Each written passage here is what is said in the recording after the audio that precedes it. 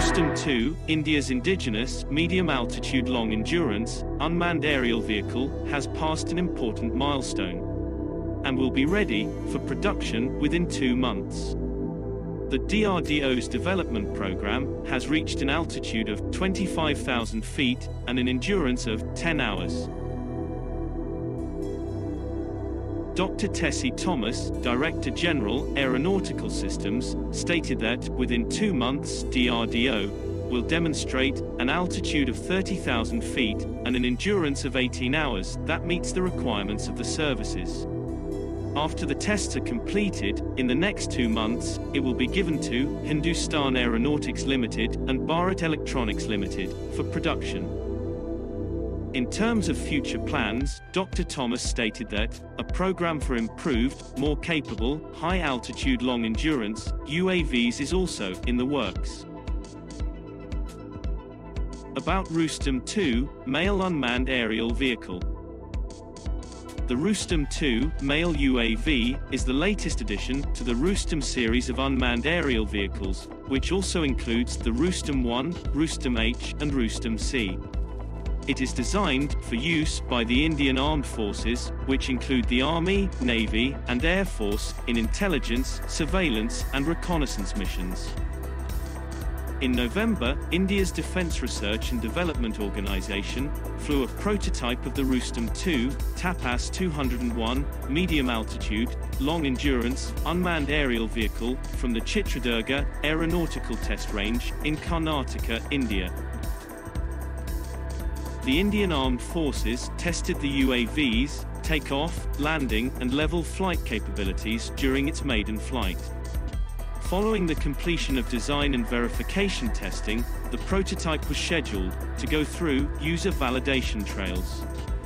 The Directorate General of Aeronautical Quality Assurance and the Center for Military Airworthiness and Certification have approved the certification and quality assurance for the Rustom 2's maiden flight. Development of the Rustom 2 Rustom 2 has been designed and developed by Aeronautical Development Establishment.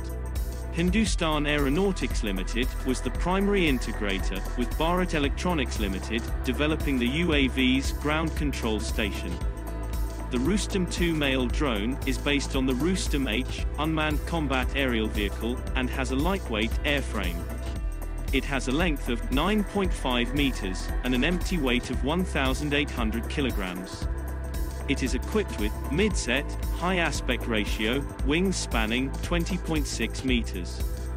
The tail section is outfitted with a conventional T-type vertical stabilizer and a high-mounted horizontal tailplane. The UAV's tricycle landing gear enables it to perform safe takeoff and landing maneuvers on hard surfaces. It has a single nose wheel in the front and two single-wheeled main gears at the center of gravity. Rustom 2 payloads. The unmanned aerial vehicle is designed to carry a variety of cutting-edge payloads weighing up to 350 kilograms, allowing it to perform multiple missions in both day and night lighting conditions.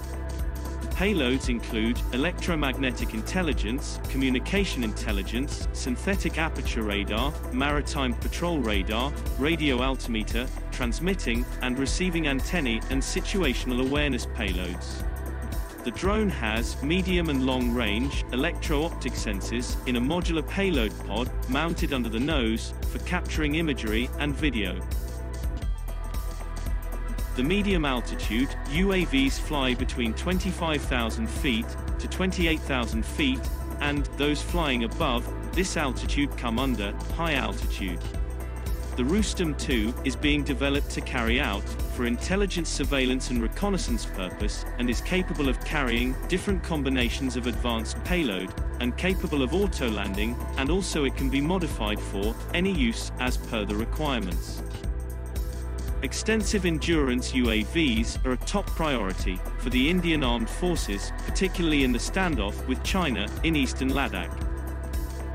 The Indian Armed Forces rely heavily on Israeli Searcher and Heron drones, and require more of these unmanned aerial vehicles. the services have begun a major upgrade project for the Heron UAVs. A separate proposal from the United States for 30 armed Predator drones, 10 for each service, is also at advanced stages.